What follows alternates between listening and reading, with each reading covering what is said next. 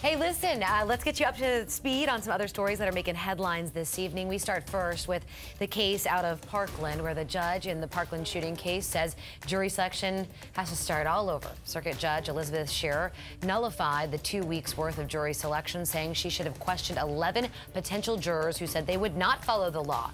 This means nearly 250 potential jurors who said they could sit for the trial will not be called back for further questioning. Nikolas Cruz has pleaded guilty. The jury that's chosen will decide if he is sentenced to death or spends life in prison without parole.